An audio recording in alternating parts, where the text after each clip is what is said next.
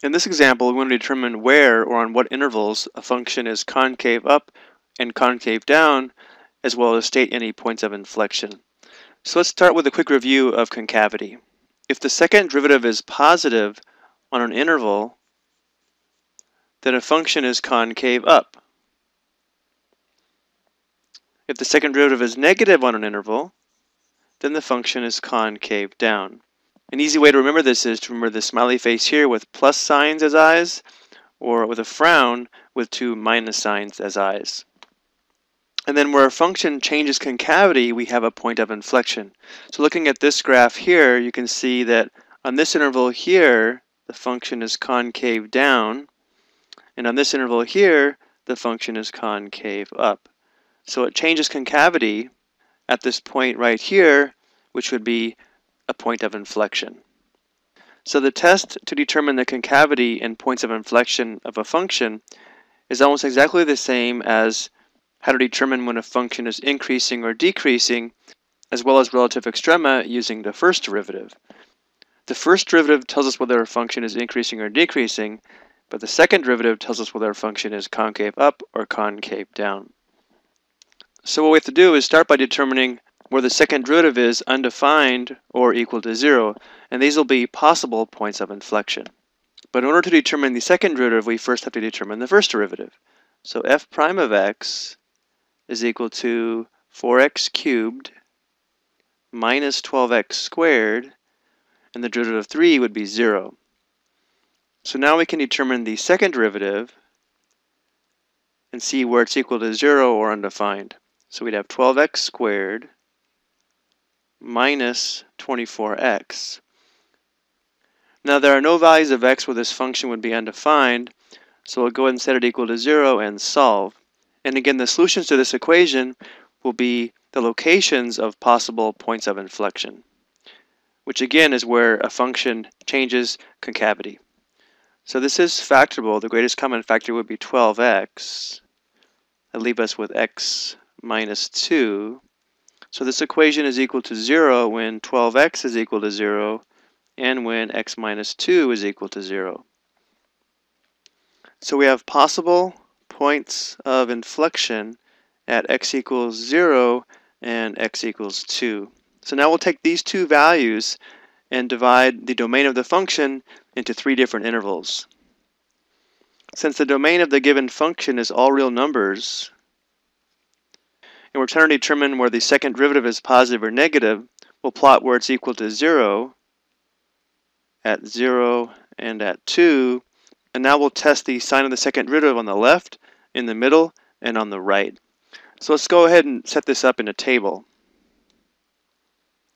So remember that the possible points of inflections occurred at x equals 0 and x equals 2. So given these two values, we had three intervals from negative infinity to 0, from 0 to 2, and from 2 to infinity. And now we're going to pick a test value in each of these intervals to substitute into the second derivative to see if the second derivative is positive or negative. And then from that information, we can draw all the conclusions that we need. So let's select negative 1 in this interval for our test value. We'll select positive 1 here, and we'll select positive 3 here. And now we're going to substitute these x values into our second derivative, which is here from the previous slide. So we need to determine f double prime of negative 1, f double prime of 1, and f double prime of 3. So we're going to have 12 times negative 1 squared minus 24 times negative 1. This is going to be positive 12 plus 24, that's 36, which means the second derivative is positive on this entire interval. And then f double prime of 1 would be 12 times positive 1 squared minus 24 times positive 1. Well, this is going to be 12 minus 24, that's negative 12. So the second derivative is negative on this interval. And now we need to replace x with 3. Well, this is going to be 9 times 12, that's going to be 108, minus 72, which is equal to 36. So the second derivative is positive on this interval. So because the second derivative is positive on this entire interval, that means the function is concave up on this interval. The second derivative is negative on this interval, so it's concave down. And then it's positive on the interval from 2 to infinity, which means now it's concave up again. So before we check this graphically, let's record the information below. So the function is concave up on the interval from negative infinity to 0 and from 2 to infinity. It's only concave down on the open interval from 0 to 2. Now for the points of inflection, notice that at x equals 0, the function does change concavity. It changes from concave up to concave down. So we do have a point of inflection at 0. We don't know the y-coordinate yet. But notice how the function also changes concavity at x equals 2. It changes from concave down to concave up. So to determine the y-coordinates of the points of inflection, we do have to evaluate the original function at x equals 0 and x equals 2. So let's finish by doing that. And here's the original function. So f of 0 would be 0 minus 0 plus 3. So the y-coordinate would be 3 for this point of inflection. And then for f of 2, we'd have 2 to the fourth minus 4 times 2 cubed plus 3. Here we'll have 16 minus 4 times 8, that's 32, plus 3.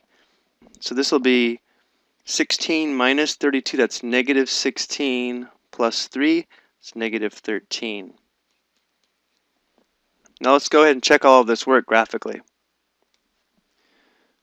Notice from negative infinity to 0, the function is concave up.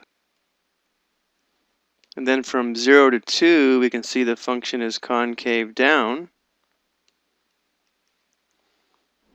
And then from 2 to infinity, the function is concave up again. So we do have a point of inflection here at 2, negative 13, as well as at the point 0, 03. So our work does check. I hope this was helpful.